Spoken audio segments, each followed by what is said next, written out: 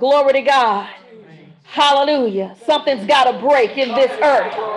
Something's got to break in this earth realm. Amen. Hallelujah. I believe when there starts to be some shaking, it's going to start to be some breaking in the name of Jesus. Amen. I believe some strongholds are going to be broken in Jesus' name. Come on. I believe somebody in poverty, generational poverty. Oh my God, that curse is going to be broken in the name of Jesus. Amen. Hallelujah. Something's got to break. You know, even when you put a lid on a pot and you begin to boil it at some point, come on, that pot is going to overflow. That lid is going to pop off because there's going to be too much pressure on the inside. We're living in a world and in a time where it's too much pressure. Too much pressure in this earth and people wondering why in the world the earth is reacting like the earth is reacting and why the earth is responding like the earth is responding there's too much pressure yeah, too much yeah, pressure in the earth today hallelujah oh, my, god my god something's got to break. Something's got to break. We're at that point. It is critical. Yes sir it is critical. We are at the boiling point. My god my god that something must break. Hallelujah, in this earth realm, where we're going to talk today about ah, something that's going to help us take a little bit of pressure off. Amen. Something that's going to help us take a little bit of pressure off. Because sometimes the pressure that we experience in life is self induced. Sometimes our struggle didn't have to be. And I am here to just remind us today and to share with someone who may not have known today that there is a way. His name is Jesus, and he already finished the work. Amen. I believe on Calvary's hill, on the cross of Christ, something broke. Satan's hold over you broke. Satan's right to possess you broke at the cross. Amen. Glory to God. You know, God is the one who can break something that ain't no coming back from that. Amen. It ain't no coming back. And we just thank God on today. We give him glory for being in the house, for being able to praise the Lord and glorify God. We thank God for the word of God. We thank God for the people of God. And I pray in the name of Jesus that, Lord, you would have your way. Oh God, reduce me, Lord, to the point that you need to, oh God that you may increase in me. Holy Spirit, have your way. Speak unto your people on today, O God. Lord, I am but an instrument to be used by you. Father, I thank you that you will ordain the words that come from my mouth. I thank you, Lord, for blessing and anointing and giving me grace to preach this word. And I thank you, dear Lord God, that it is only by your hand and by your spirit that we are even able to mumble a word of truth. We thank you, Lord, that you are truth, that you are love. We pray for those who are listening and hearing on today. May they hear deeply the word of God. Lord, we love you and praise you. Bless each and every person who participates in this worship service today. Bless each and every person who listens to the recording. God, we thank you and we glorify you. In Jesus' name, amen. amen. Church say amen, amen, amen, amen, and amen again. Glory to God. Today we are going to be talking about cross examination. Come on, cross examination. And if we were not sitting in the church house right now, we might think that, oh, the speaker is speaking about the judicial process. The speaker is talking about the judicial system. And the speaker will talk a little bit about the judicial system in this message, but we're only going to talk about the judicial system as it relates to the system of salvation. Come on, y'all ready to do that? Yeah. The system of salvation because we know that in the criminal justice system that when we speak of cross examination we are speaking of something that takes place in a courtroom right we're speaking of something that takes place during a trial. Come on. Anybody who's under the system of salvation know anything about trials? Do you know that trials come to make us what? Strong. Glory to God. But when we are talking about cross examination in the courtroom, amen, we are talking about an opportunity that the defense, as well as the people or the state or the prosecution, whichever you may call them, has an opportunity to question a witness. Somebody say, I'm a witness for the Lord. Okay, keep that in your hat right there. And the purpose of this cross examination is to interrogate a witness. Come on. Has anybody ever been on the witness stand? Yeah. Yeah. Yeah. It's an unnerving thing. It really is. And you know what happens in the judicial system when you have a witness, especially one of those witnesses that's critical to the defense. The defense does everything to protect that witness before the time comes for that witness to testify. The defense also takes time, much time, to prep that witness so that that witness would be prepared to share what needs to be shared. So, um, what is a witness? A witness is one who has um, seen something or heard something or knows something. A witness is someone who has detailed, accurate, firsthand information about a situation. Come on. Do you hear yourself as a witness in here? Come on, we're talking about the judicial system, but we're talking about the system of salvation also. Come on, right? And so the witness has to be prepped, has to be prepared. The witness has to practice and rehearse. And the witness is told that when you are cross examined, make your answer short and precise, and by all means, be truthful. Somebody say, be truthful. be truthful. If I'm a witness, Come on, keep saying it. If I'm a witness, I'm a witness I gotta be truthful. Gotta be truthful. Come on. So in the judicial system, once that witness is prepped, that witness is given an opportunity to take the stand. And when that witness takes the stand, it is all no no bars. Okay? It is an opportunity for the opposing side to discredit the witness's testimony, to reduce the effectiveness of the evidence that has been presented during the trial. Come on, we're going to go there. We're going there. We're going there.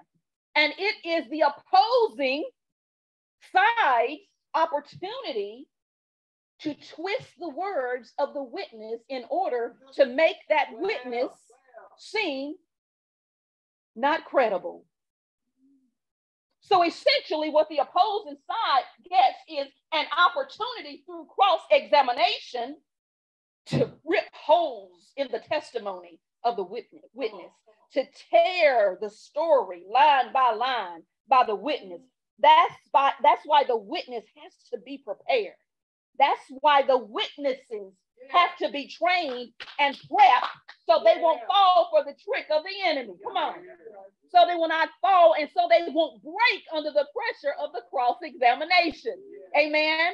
Because the cross examination is coming, right? There's no doubt about it.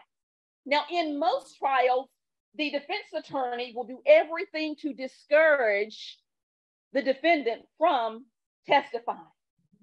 Now, why is that? It's because they do not want the opposing side to get an opportunity to discredit the witness. But how many of you know that sometimes, I don't care if you practice law, if you study law, if you teach law, or if you like me, you just occasionally watch Perry Mason, Law and Order, you know, whatever your knowledge is, you know that sometimes you cannot get around that one who has been accused having to testify. Come on, come on. Come on. Sometimes it just has to happen. Yeah. And so it takes that much more preparation, that much more control when you're on the stand and that cross examination is coming and that opposing side is coming at you with all kinds of discrediting questions and innuendos, in, innuendos and uh, suggestions. You know, it comes at you and it's rapid fire. It's like the darts of the enemy, right? Coming at you. So the witness has to be so prepared, glory to God, to stand under that pressure of the cross examination because the character of that witness is going to come up. Do you know that? How many of you know that many times the opposing side will not only try to discredit the story of the witness, but they will try to tear down the character of the witness. They may ask something like, Have you ever been co- uh, convicted of a felony? Have you ever broken the law? Yeah, yeah. Right? They might ask questions like that. Well, if that witness has been prepped properly, and that witness has indeed and in fact been accused, not only accused, but convicted of a felony or a crime, that witness is going to say yes and stop right there. Yes and stop right there. Words are very few. You know, we can learn something from the judicial system, whether it be in study or in viewing entertainment, that our words sometimes just need to be few. I'm reminded of Jesus. I'm reminded of Jesus when he was cross examined in the desert after his 40 day fast. And the accuser, the opposer, the one who came to prosecute him, to antagonize him, came with all kinds of cross examination, trying to get him to act out of character. And Jesus said, It is written. Jesus' words were few. He did not go into a dissertation with the devil. Amen. Eve messed up in the garden back in Genesis 3 when she had too many words for the devil. She should have stopped him right at the beginning. But see, the man Adam had not prepped his witness. He hadn't prepared her enough to know that when the accuser comes to you, trying to break the story down, trying to bring doubt, he didn't prep. So she didn't know. So the devil cleverly came to her and said, Did not God say? And as soon as he said that, she should have shut him down, but she didn't. And we know that by the sin of one man, we all were made sinners, right? But we're here today to talk about the system of salvation because there is one who ah was made in the image of man, but he was fully God. And we know that when he hung on that cross, glory to God, we know that he broke some things. And we know that he put some things into motion. And we're going to talk about the examination process. And I believe that during this message, we are going to uh, rediscover. Some people may discover, but most of us will rediscover some things about the cross that maybe we had forgotten, maybe we had set aside, maybe we just did not know. Amen. But I'm here to tell you that the cross is how we make it over. The cross is how we make it over. You know, there used to be the old song, I don't know, you know, how I made it over. Well, we know how we make it over. We make it over by the cross. Our cross is how we make it over. And we thank God that Jesus went and he was our advocate. See, it's a big thing in the judicial system for someone who is accused to have an alibi. Well, I might not have an alibi, but I got an advocate. And as long as I got an advocate, my advocate is going to speak for me, whereas my whereabouts can't speak for me because it just might happen that I was in the place where the crime was committed. I was in the place where the sin went down. It just so might happen that I am guilty. But you know what? In the judicial system, in theory, those who have been accused of a crime are considered to be innocent until what? Proven guilty. I said in theory. Innocent until proven guilty. But glory be to God, under that salvation system, everybody's guilty. But because of the blood of Jesus, we all get to walk out the courtroom free. Come on. We all get that not guilty on our record. Amen. And it's not because we did it or didn't do it, but it's because he did it. He finished it on the cross. Amen. Oh, glory to God. Glory to God. Oh, God, we thank you. We thank you, Lord. There's a scripture in Colossians 1 19 and 20. Colossians 1 19 and 20. I'm going to read this from the English Standard Version. So it may read a little differently, but whatever translation you have is powerful. The word of God says in Colossians 1 19 and 20, For in him all the fullness of God was pleased to dwell. Come on, how magnificent is that? For in him, him being Jesus Christ, all the fullness of God was pleased.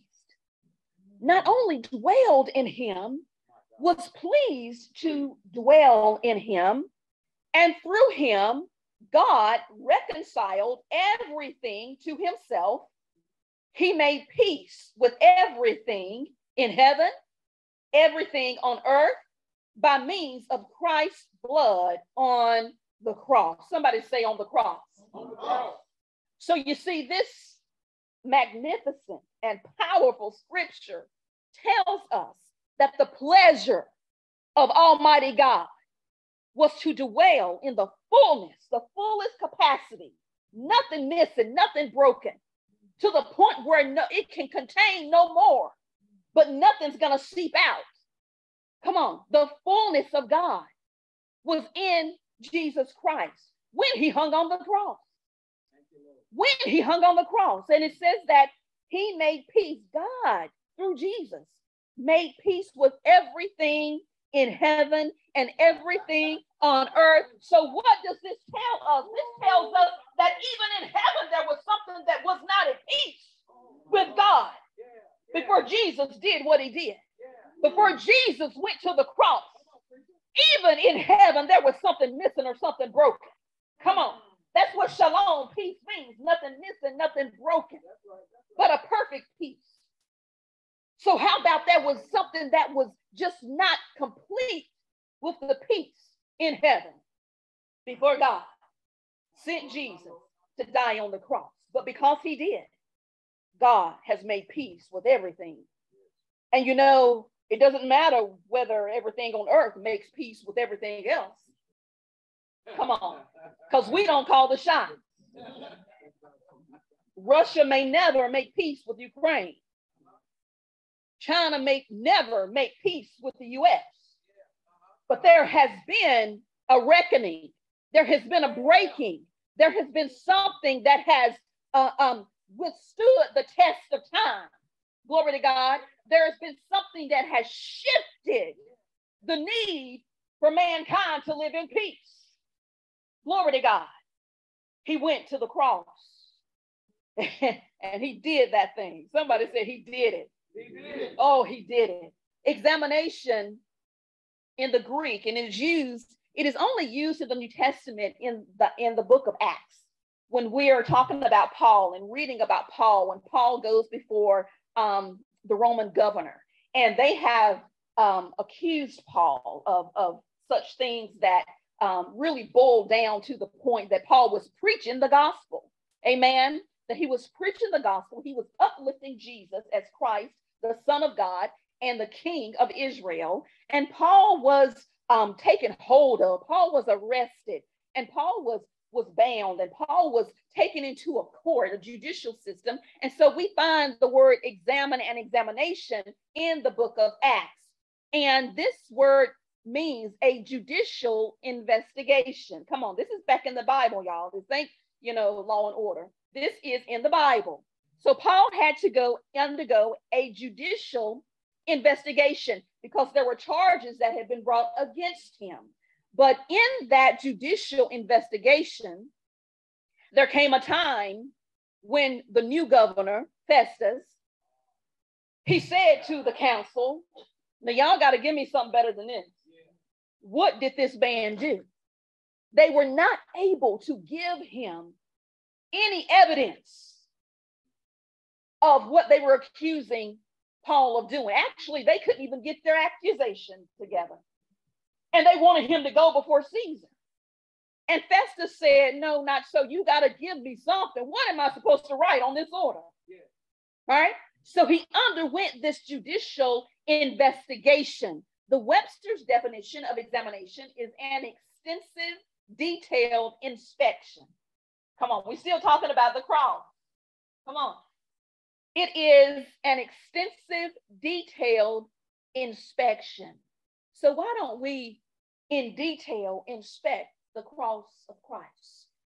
This is the old rugged cross. Is it not?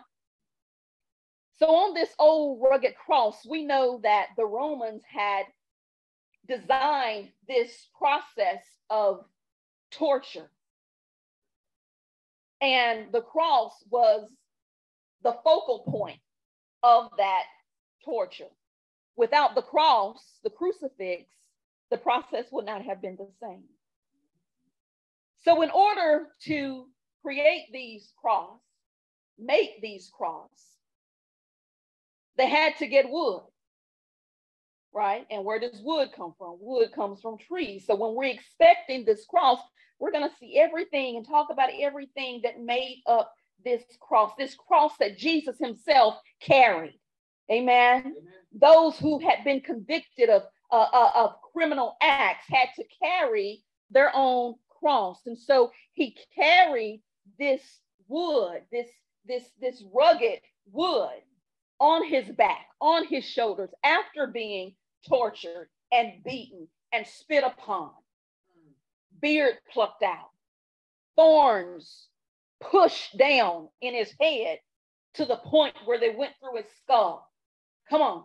Then he had to carry his cross. But before he did that, he had to go through a trial. He had to go through a trial.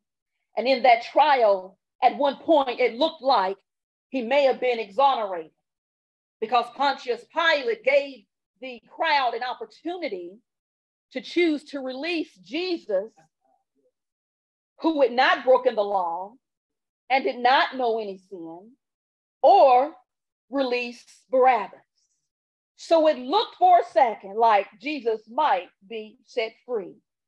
But how many of you know that if he had been, we would not have been? If he had been, we would not have been. So thank God that the crowd chose who they chose. Glory to God. But this cross, this old rugged cross. And you know, and I'm not, I don't know where the where the wood came from in the territory. Glory to God. I don't know what type of tree it actually was. I'm sure there is some research that can be done that will tell us that. But what I do know that whatever type of tree, whatever type of of of of wood it was, I do know that it was created on the third day of creation when Jesus, back in Genesis, made that thing that he was now carrying. Right. Come on.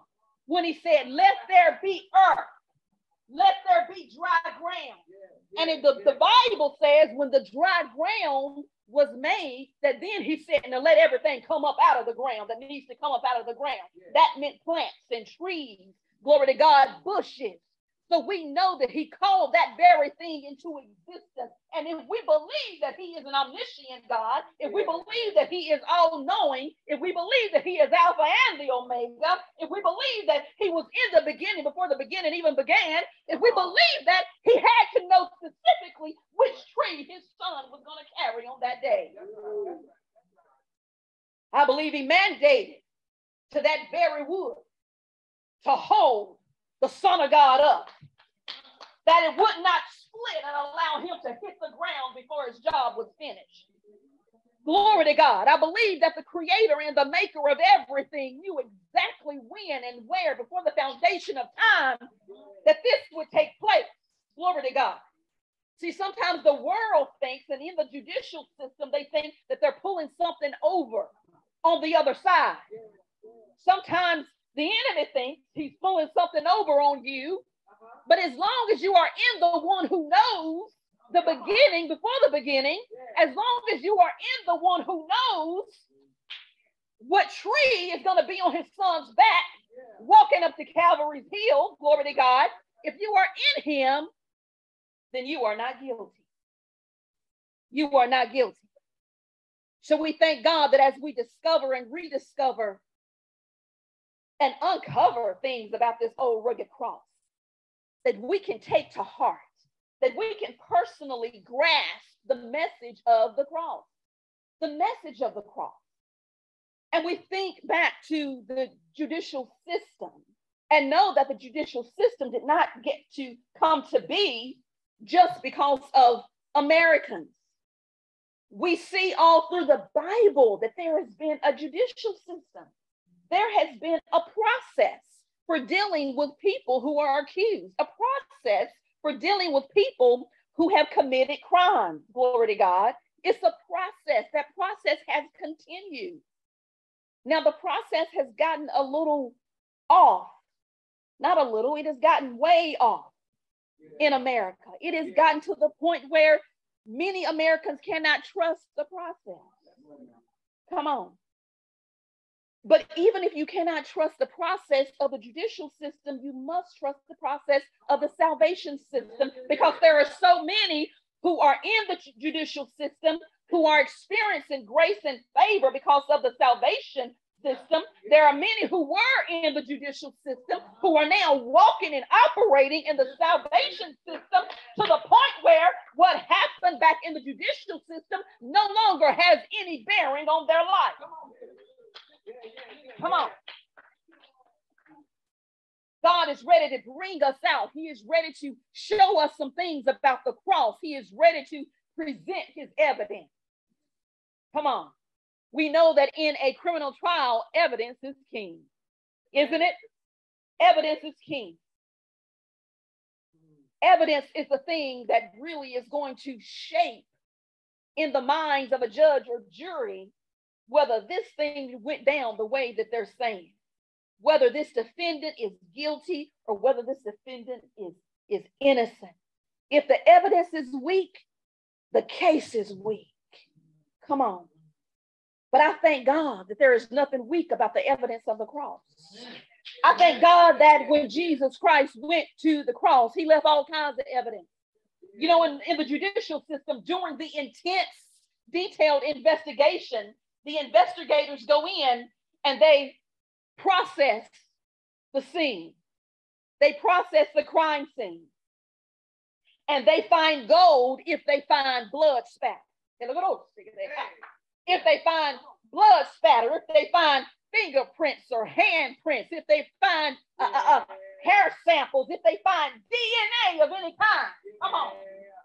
So we need to know that when the accuser of the brethren tries to cross examine us about our salvation, when the opposer comes in our life and whispers in our ear and tries to cross examine us and break us down and make us doubt that we're even saved and make us doubt the love of God and make us doubt whether God has called us not guilty or not. When He comes, we need to point him to the crime scene and say, Go back to the hill.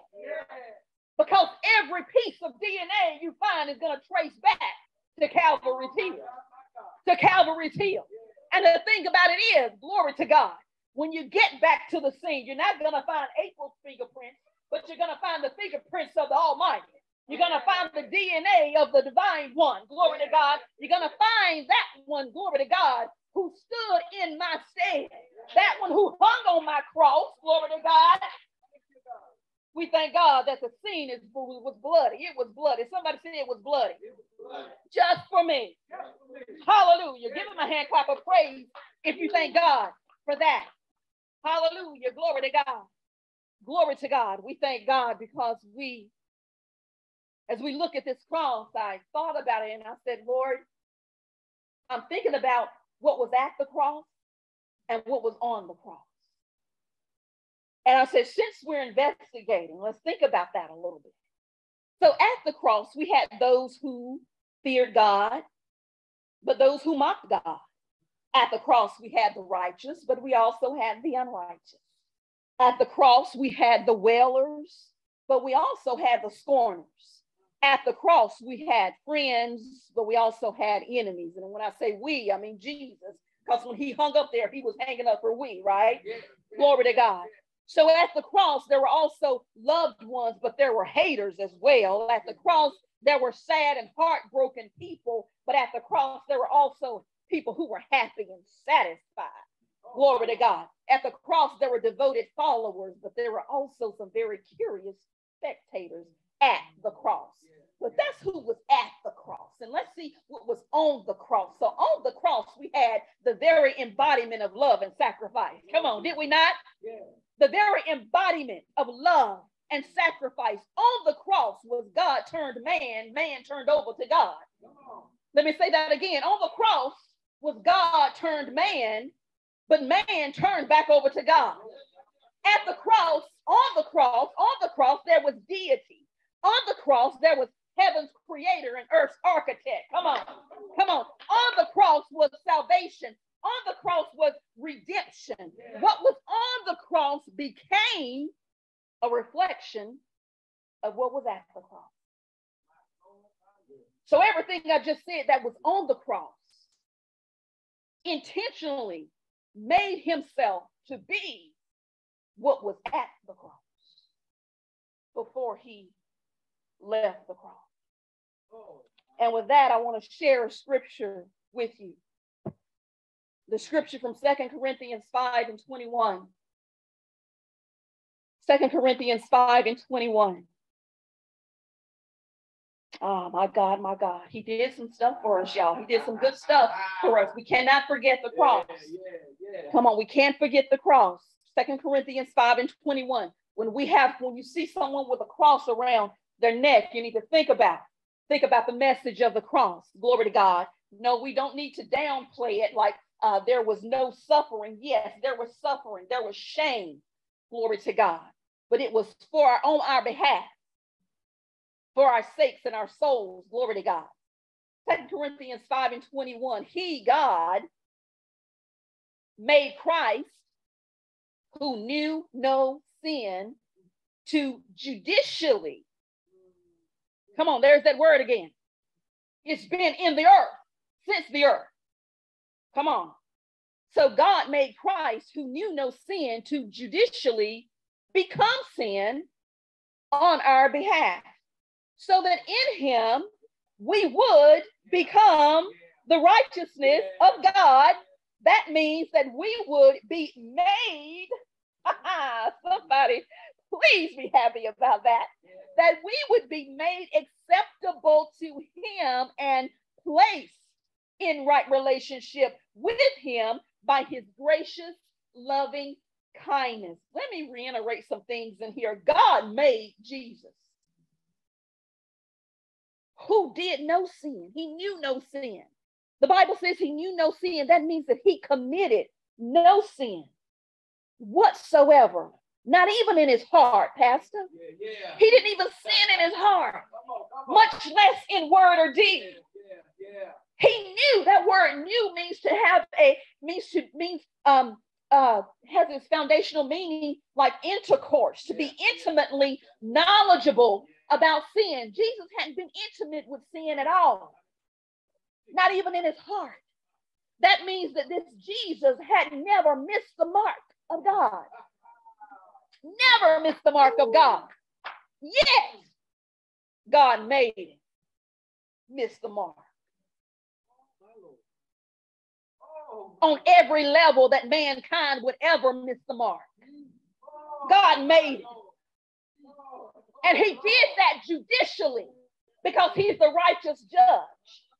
So he could call that shot. He could make that call. Glory to God.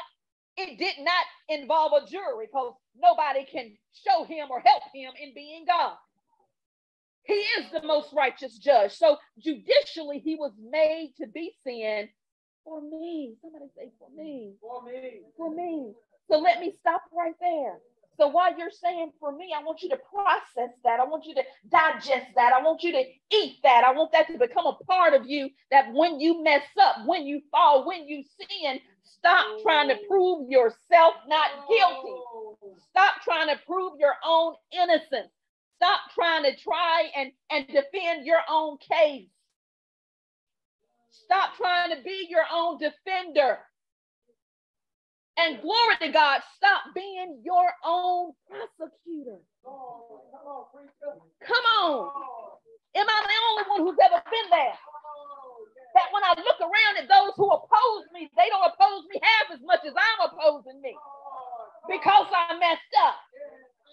But when we remember the cross, when we stand under the cross examination of the cross of Christ, we are not our own enemy. Come on. Because we have a friend in Jesus. We have a mighty good friend in Jesus. So it says that he would become the righteousness, that we would become in him the righteousness of God. meaning we'd be made acceptable. That's that peace, y'all. That's God making peace with heaven and earth and everything in heaven and earth because of what Jesus did. Now tell me this if there is nothing, nothing whatsoever you or I, you and I, or any other man, woman, or child did to make this happen, why do you think it's something you can do to cancel it? Jesus, come on, get that, get that. Are you so above the mind, the plan, the hand, and the heart of God that you can counsel what He's already done? What He's finished because you messed up? Because you fell short? Because you sinned? Come on, think about it. Are you going to slap Christ in the face after he hung on the cross and did it all like he's got to do something else? we shall not. And it says, because of his gracious, loving kindness. Colossians 2 and 14 says that he nailed our record of debt to the cross. Somebody said he nailed it. He nailed it. Come on. Every record of debt that we would ever have, he nailed it to the cross. Never to be attached to us again. Never ever to be attached to us again in the Gospels, they record where Jesus said, Anyone who desires to follow me must deny himself and take up his cross. Now, that doesn't mean we walk around carrying wood on our back. That means that whatever that trial that is in our life, that we carry it with the character of Jesus Christ. We carry it remembering his suffering and remembering his shame and knowing that we do not have to live a life of suffering and a life of shame because he already did it. He already did it. Glory to God. Philippians 2 and 8 says that our Jesus, our Lord, was obedient unto death, even unto the death of the cross. Paul says in Galatians that the only thing we have to boast about is the cross of Jesus Christ. Is the cross of cross of Jesus Christ. That's the only thing. And Paul was one that could have boasted. He had reason to boast, but he didn't even boast. No one has the right to boast about anything but Jesus and him crucified. So when we think about what took place at the cross, what was at the cross, what was on the cross, what led up to this cross, we some think that it was murder. Some say, well, if he gave up his life, it was suicide. But no, it was neither. It was sacrifice. It was passion. Passion led to what took place on the cross. Glory to God. So we need to be in a routine of habitually processing evidence and habitually testifying, giving our testimony. Remember, a witness is someone who has critical information, carries critical information, and that witness is going to be protected until that witness can get on that stand and share that critical information so that there can be a just and fair verdict. Glory to God. Well, I tell you what, in the salvation system, glory to God, when that evidence is brought to trial, when you bring the evidence of Jesus Christ, the evidence of the empty tomb, come on, somebody, the evidence of the, the, the rock rolled away, the evidence of the hundreds of people who saw him after he rose from the dead. When you bring that evidence, glory to God, no matter how unfair the trial might be, we know that we're going to walk out not guilty. We're going to walk out now guilty because he has already stamped that on our record in heaven. Glory to God. Jesus took this stuff to the cross. And we know that when the enemy tries to ascertain the origin of the evidence, because the thing about it is the accuser can rightfully say, I call him in the act. You know, the Bible says that he goes before God accusing us. he goes before God. I think y'all heard me this say this before. That I don't care how many times the devil goes to God and tells him the truth on me, right? He ain't lying, but tells God the truth on me because I believe in the cross and the work of the cross. I don't worry about him because somebody beat him there. My advocate beat him to the throne. The devil can't ever show up before my intercessor. The devil can't ever get to the ear of God before Jesus makes intercession for April. Come on. Ain't no way. So I don't care, devil. Go tell him what he already knows. I'm pleading the blood. I'm pleading the blood. I'm not pleading guilty. I'm pleading the blood. I'm not even pleading not guilty. I'm pleading the blood of Jesus. That's how I'm walking out of this thing. I'm pleading the blood of Jesus, glory to God. So you need to know on today that you are found not guilty by reason of salvation. Hallelujah. By reason of salvation, you have been found not guilty. You and you and you and everyone who accepts the redemptive work, redemptive work of Jesus Christ. You have been found not guilty. And it frustrates me sometimes when I think of in the Gospels where it gives the account, like in Matthew 27, and I think Mark 15, when it gives the account of the people at the cross mocking Jesus and saying, If you are the Son of God, come down from there. Call angels to your rescue. If you are the Son of God, if you are the King that you say you are, rescue yourself. You're talking about saving us, save yourself and they antagonized him, glory to God. And see what they were doing, they were trying to get our Christ, our Lord, our Savior, to present some evidence that would amaze them. But see, the thing about it is, they thought that because he did not, he wasn't God. Because yeah, come on, tell the truth. Come on. They thought that because he did not come down, he wasn't God. But the very fact that he didn't proves that he was God, proves that he was the Son of God, proves that he was the only one that could sacrifice. And what Jesus did on that day, he revamped the whole reputation of the cross. Come on. He took that thing that was despicable, that symbol of torture. Yes, it's still a symbol of torture, but now through that torture, we have victory. Come on, somebody say, I got victory. I got victory. Yeah, through through that, we have victory. Glory to God. Through that shame, we are now delivered.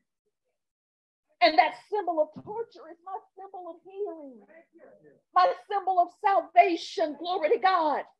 We don't know how many human beings were nailed to those crosses during that time.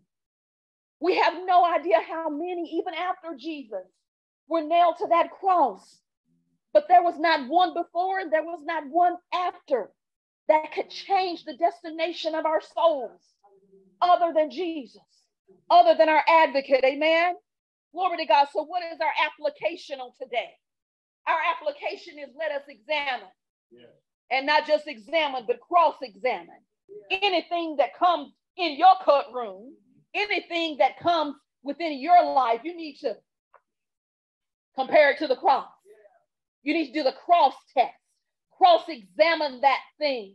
Before you share that post, cross examine it. How does it line up with what the, the cross symbolizes and what the cross represents in my life? Come on, we know the cross represents freedom, liberty, peace, love, salvation, redemption, strength. Come on. Putting back together again. We were reconciled unto God because of what Jesus did on the cross. So before you hit send on that text, cross examine it. Before you enter into that conversation of gossip, cross examine your reason for even being there. Cross examine that relationship.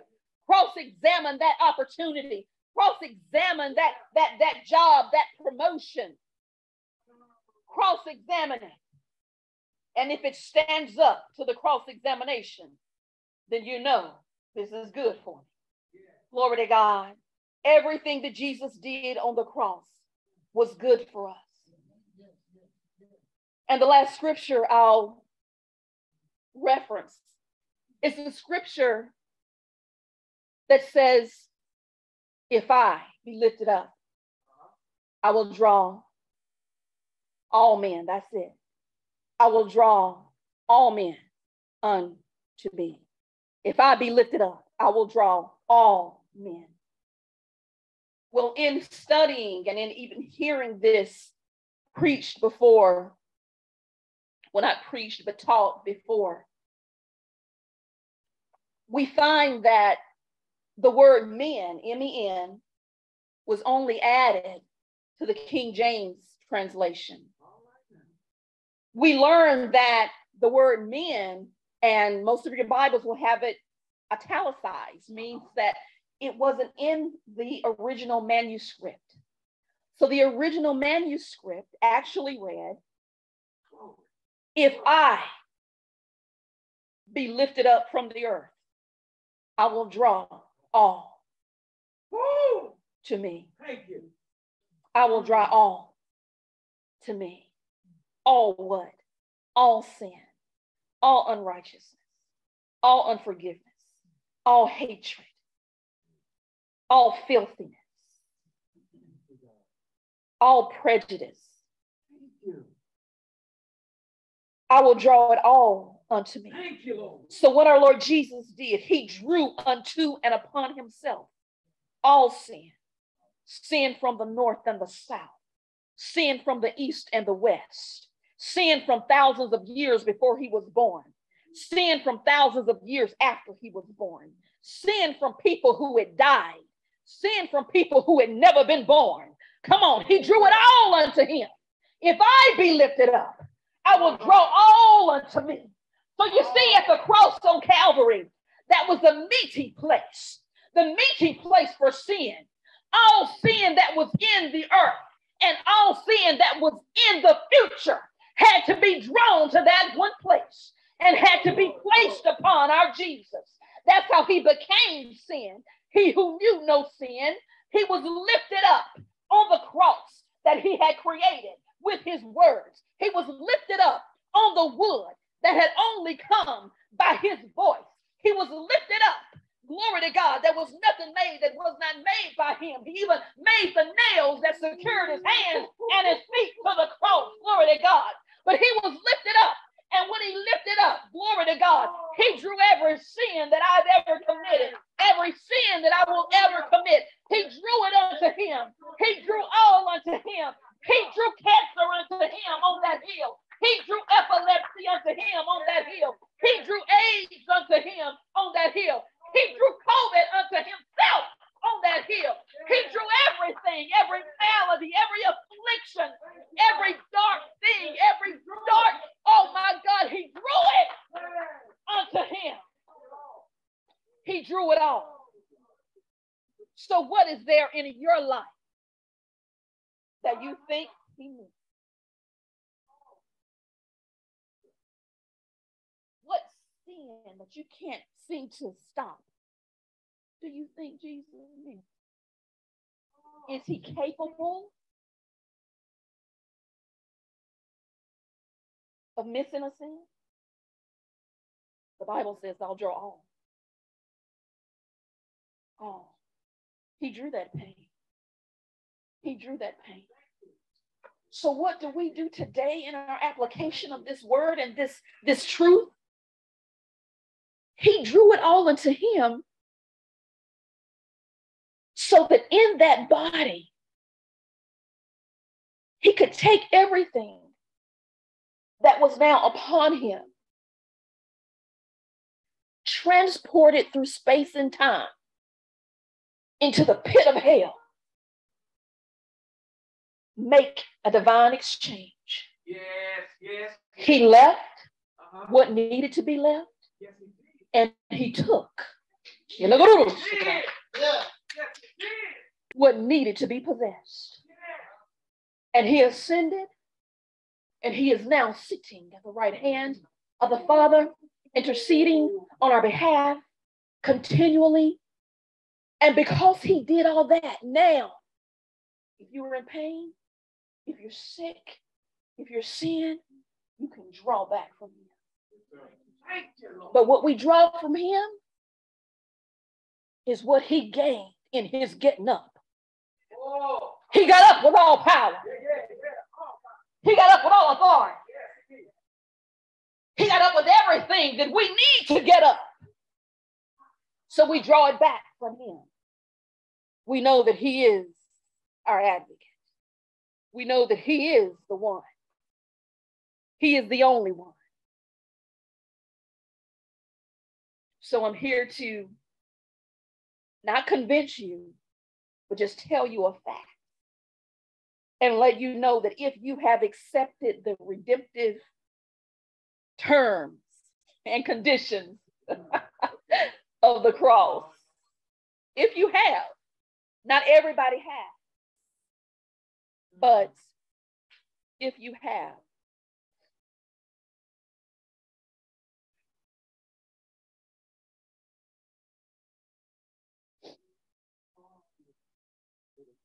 then you now have the right to plead the blood of Jesus. And know that without a shadow of doubt, you are not guilty. And you know what I've learned? I've learned from watching people in my life, people in my family, even people who are um, famous, that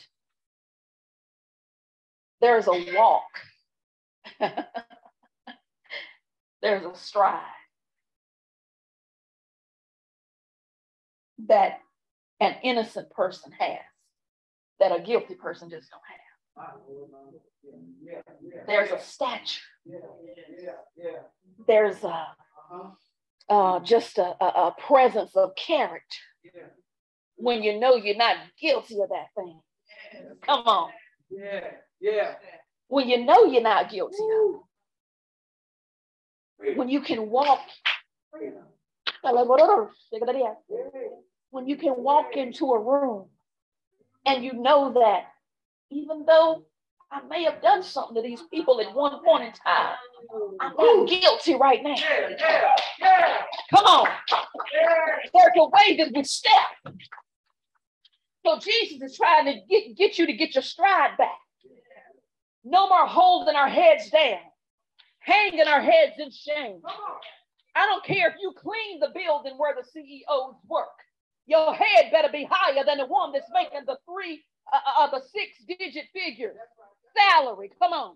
If you are in Christ, if you have received this redemptive terms and conditions of the cross, come on. We have something that the world does not have. We have a cross on our side. Jesus carried it on his back, but we have a cross on our side. We have the cross on our side. I want you to stand on your feet as we close on today. I want you to consider the fact that Jesus did it. If anybody comes to you and asks you, did you do such and such? Mm-mm, Jesus did it. That was Jesus. Jesus, Jesus had motive and he had opportunity. Well, well, his motive was love, and his opportunity came when the Father said, Let us make a body. When he was born of a virgin, that presented his opportunity to come on in and make it happen and to finish the work. Father, we thank you. Lord, we glorify you in this house. God, we thank you that we do not take lightly the suffering of our Lord and Savior Jesus Christ. We do not take lightly what he endured. But God, we thank you that as Hebrews tells us, that he endured for the joy that was beyond the cross. So, God, we thank you that just as Jesus endured the unthinkable we shall endure every trial that comes into our life. But God, we thank you that we don't have to do it alone. We thank you, God, that we have help. Thank you, Lord, that we have an advocate. Thank you, Lord, that we have one pleading our case continually before your throne. We thank you for Jesus. Now, God, I pray over these, your people, that they would begin to process the evidence in their lives. And if there's people, places, things, thoughts, words, deeds, that the evidence is undeniable, that it should not be, help us, God. Help us, God, to turn those things over to you, the righteous judge. Oh, You are the righteous judge. We know that you won't do us wrong, oh God. You, God. We know, Lord God, that you already sent Jesus to take the punishment. You already released every bit of anger and rage and frustration and punishment upon your son. So help us to be free in coming to you. Lord, you said that if we come to you and confess our sins, that you are just and you are faithful to forgive us of our sins and to cleanse us of all unrighteousness. All unrighteousness. Because Jesus drew all unrighteousness unto himself on the cross. Thank you, Lord. God, we love you and we praise you. Father, empower these your witnesses to go and tell somebody the truth. Not the truth about who we are, but the truth about who Jesus is and what he did. And God, please, the next time the accuser comes, whether it's a dark spirit or whether it's a family member, whether it's a co-worker, whether it's a spouse or a child, if they come with cross-examination, Lord, help us to plead the blood of Jesus Hallelujah. and know that we are not guilty by reason of salvation. God, we love you and praise you, and we give you glory in Jesus' name. Amen. Amen. Amen. Somebody give God a hand clap of praise.